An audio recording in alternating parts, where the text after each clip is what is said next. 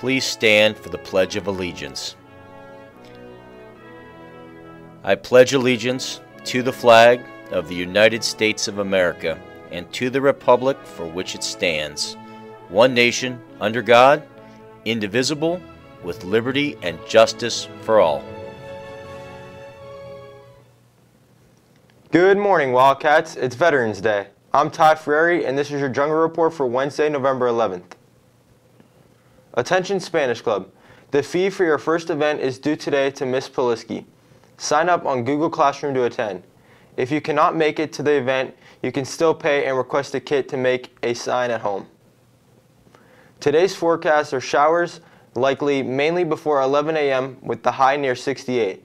The winds will be out of the south at 9 miles per hour. Partly cloudy this evening with a low around 39. The winds will be out of the northwest at 6 miles per hour. And now let's go over to Colin Ryan with a special, special message on Veterans Day. Thank you, Tyler. I'm Colin Ryan, and today is Veterans Day, a day when we honor all who served. And here at Struthers High School, we have three veterans who served their country in the U.S. Armed Forces, Mr. Gaya, Mr. Nerone, and Mr. Zani.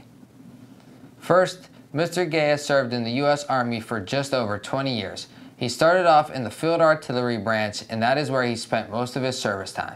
When he joined, he became a forward observer who called in artillery.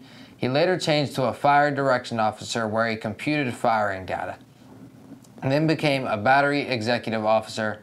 Next, a battery commander for two years. After that, he had staff positions for the rest of his career. He helped coordinate the relief effort for multiple hurricanes, especially Hurricane Katrina and Hurricane Sandy. Thank you, Mr. Gaya. Next, Mr. Nerone, who served in the United States Marine Corps for five years. He served as a mortar man, operating a weapon system called a mortar. During his time, he was deployed for seven months to Afghanistan. He was stationed in Afghanistan from August of 2010 all the way until March of 2011. Mr. Mr. States that he is prou proud to be called a veteran and happy to be honored on Veterans Day. Thank you, Mr. Nerone. Lastly, Mr. Zani served in the U.S. Air Force for almost 30 years. He started in February of 1989 and didn't stop serving until October of 2018. He was an enlisted aircrew member, specifically a C-130 aircraft loadmaster. During his career, he deployed multiple times around the world to areas such as Kosovo, Iraq, and Afghanistan. He flew over 100 different combat missions and over 300 combat sorties, accumulating over 5,500 hours in the aircraft. Thank you, Mr. Zani. Here at Struthers High School, we are extremely grateful for the bravery and love for this country these men have shown. Make sure to thank all our veterans today for their service. For me, thank you to everyone who has ever served. I am forever grateful.